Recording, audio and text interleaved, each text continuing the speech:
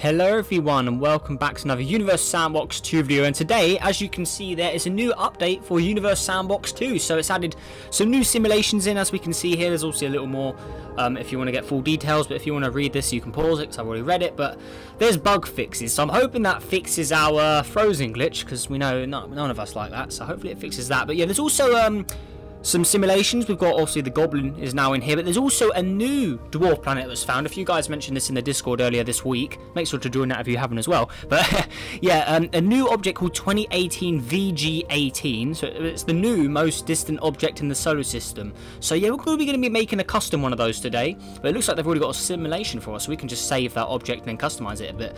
Um, but so we have it all correct. But yeah, there's a new um, few new simulations in there. Obviously, there's a new Voyager um, simulation of where they are in 2019. Obviously, the Goblin, we've already got that in my own simulation. So it's got smarter autosaves. Basically, just bug fixes. And re restored visuals to explosions. That could be quite nice.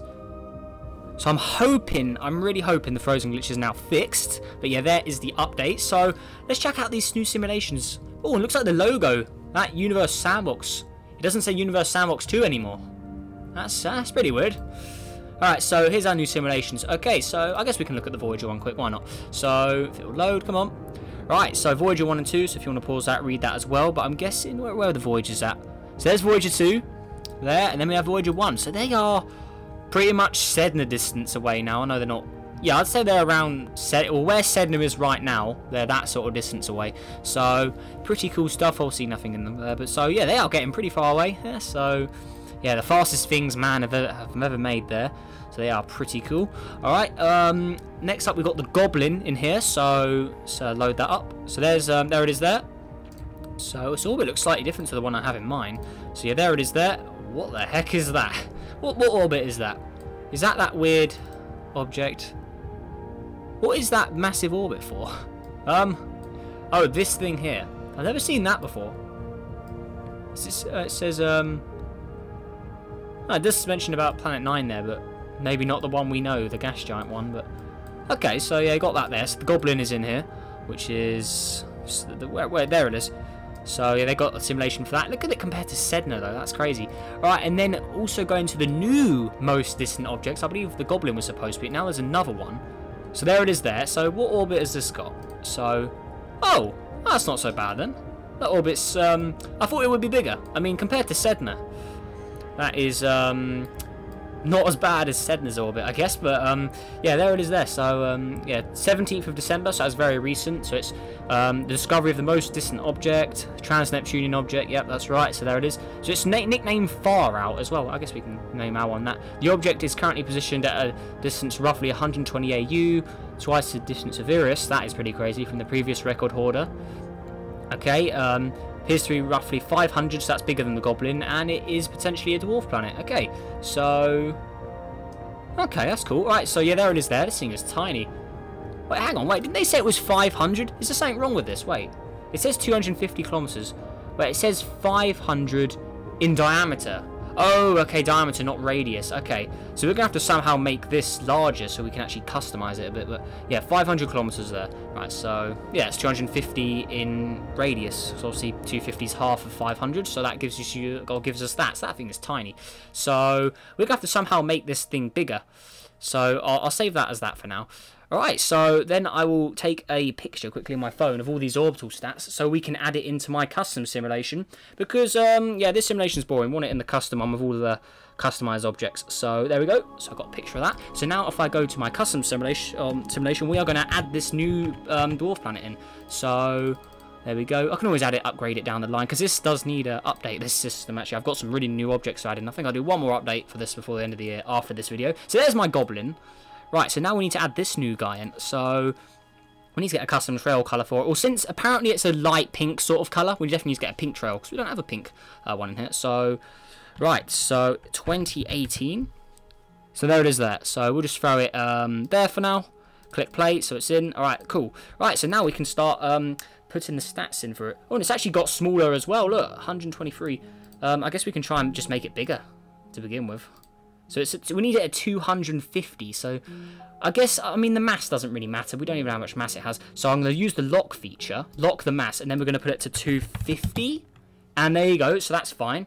So then we'll have to actually save and reopen this as well because we can't access the color options right now. But yeah, there we go. So we've got that. Right, so now let's add in the orbital stats for it.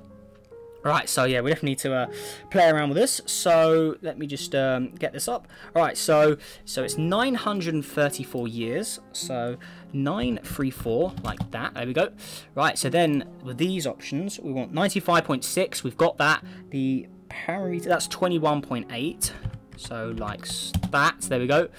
Looking good. Right, um, apocenter distance is 169. It's already got that. Okay, eccentric 0. 772 done. Right so now this is inclination is 31.7 so enter that in 31.7 right then the um, this one here 33.1 like that.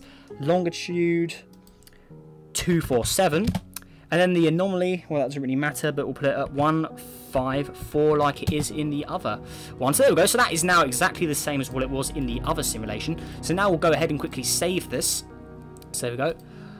Right save that. Right now if we reopen it we can customize the colors hopefully. So open it up. I entered those um, numbers in pretty quick. I'm quite good with that now. Right so Right, we've yeah, we re did we yeah we did open it. All right, so there we go. So now we go 250 kilometers, and now we can customize it. So that is what we want to do. Does it even get any sunlight from here? Let's go on um realistic. No, no sunlight at all. Actually, um, okay, there, there we are. So we'll leave it on flashlight for now. All right, so looking at the concept art here on Google Images because all of the images show a light pinkish white object. So that is what we'll be using for the template. If you guys want to um, see the art I'm looking at, literally just search uh, 2018 VG18 in, and you will um, see this image. So uh, also we'll also nickname it Far Out as well, just um, like we did with the Goblin. We put the Goblin in brackets. Actually, no, we'll call it no, we'll call it Far Out, and then put then the actual name in brackets. There we go. Cool. So there we are. Entered that in. So I'll save that um, just to start off with. All right, cool. So yeah, this has a very, very light pink sort of color. So, right, so for the mid elevation, let's see what it looks like on mid. So it'll be a very, very light pink. So something like this. That is way too, way too much pink. So we need a really, really light, sort of something like that is what I'm, I'm thinking of. So yeah, looking at that picture, that, that looks pretty, um, pretty good. So yeah, that's all white. The pink does stand out a bit too much to my liking, so we're definitely going to have to do something like that. So it's a very, very light, a very, very whitish pink object. There's not really too many um, colours this really needs. So I'll also make it a gas giant to make it into a better looking sort of pink, I guess. So keep doing that. I really don't care about the options because I'm pretty sure none of these are accurate in the first place. So there we go. Nah, I'm not liking that. It's got to look, got to look perfect. Nah, definitely not that. Nah, I'm not a fan of that template. So there we go. Just have to keep switching it till I get one I like. Is this the one I started off with? I mean, maybe that is the best one then. Okay, okay, I'll roll that. The picture on the top looks quite cool actually. So if I do that a bit, nah, that see that looks too much pink. That is way too much pink. So I'll go with that. Then we'll go with a sort of more greyish one. I mean, hmm, that does look pretty nice with her. See, that just makes it look darker. I mean, what do you guys think of that? I mean, you can let me know what you think below in the comments as well. Like like I said, um, if you um, think I should change it anyway, um, just let me know because we can um, definitely have that arranged.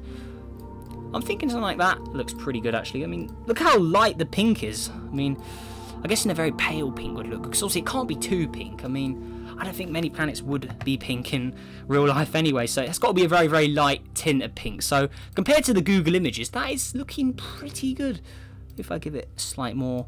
Yeah that that looks better. So looking good. So I'll go ahead and save that because I like the way that looks. Okay yeah I, am liking that. So now let's move it closer to the so let's move it closer to the sun as well. I want to see if it gets sunlight at its closest point. I think it will if we pull it to its closest its closest point that's the furthest so the closest point is around here. Oh that's literally inside oh, yeah it's inside Neptune's orbit. Well yeah pretty much. So yeah this would definitely this would definitely get sunlight at some point. So if we uh, go on realistic, yeah, it does. Hey, it does get a bit of sunlight when it's closer. All right, cool. So that's far out. Right, looking good. So now we've got that. But yeah, um, so we can see it a little more, we will definitely pull it out. Actually, I'll definitely have to um, I'll definitely have to um, get a different colour trail for this. We'll definitely have to get a light pink trail. So I'm not actually sure how to mod that myself because I can mod a bit, but you know, I don't actually know how to change the colour trail yet. So I definitely have to learn that at some point. So I'll just leave it. I'll just leave it there. There we go. Just so we can see it. But let's put it near Sedna's. Good old red Sedna's orbit there. All right, perfect. Yeah, I'll, I'll leave it around there. I think it looks. Yeah, I'll leave it there. Why not? So yeah, we got far out. We've got the Goblin, we've got Old Planet 9 in there. I mean, even though it doesn't, even though it may not exist, it's nice to have it in here anyway. It doesn't cause any problems. So we've got that one there. Then we've got the Goblin out here. So yeah, now we've got two, like, new customized dwarf planets. We've got this one, and then we have Far out there. So, yeah, two um, new objects in here. So now I will go ahead and save the simulation as well. So I've got it in here. So yeah, we'll just go around the sun. Looking good. So let's go ahead and go for a save. All right, we'll just call it that. Can we refresh the picture? There we go, looks better. So, voila. Perfect. Right, so now we go. System updated. So yeah, there is my new far out object.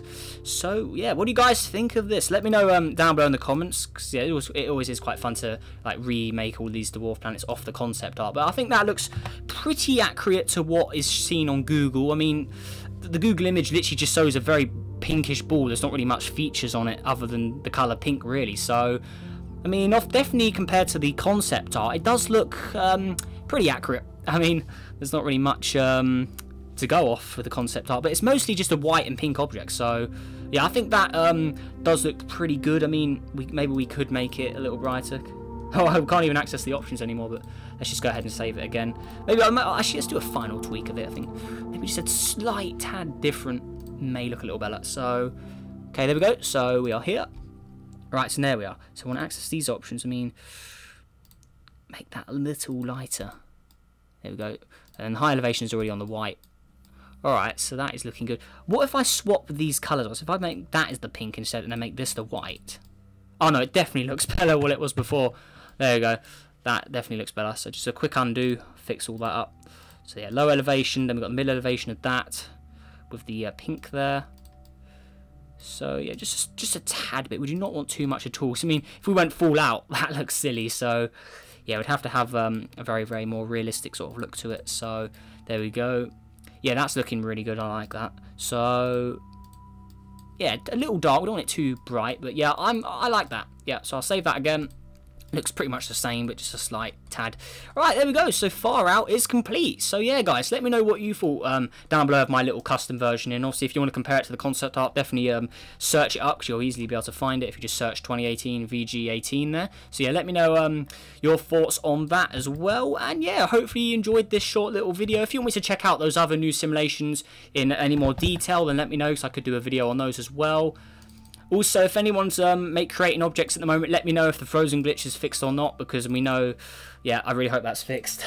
but yeah, let me know if that's been fixed or not. But um, yeah, there we go. So yeah, make sure you like the video as well. Let's see if we can go for 50 likes on this as well, guys. Also, subscribe if you're new. Helps on the journey to 6,000 subscribers, as we are still getting really, really close to that. So a massive thanks to everyone who has recently um, subscribed and, and also joined my Discord server. So a few new people have joined that as well. Links in the description if you want to join that. But yeah, there we go. So hopefully you guys all have a great day, and I'll see you in the next video.